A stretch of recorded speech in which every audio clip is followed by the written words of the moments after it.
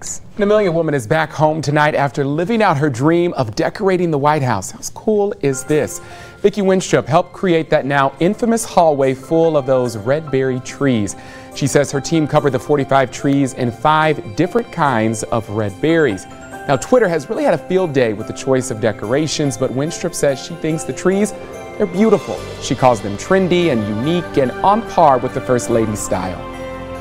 You know, I hope maybe someday I get to do it again. So even though it was so much work and so monotonous, I'm pinning berries for three solid straight days.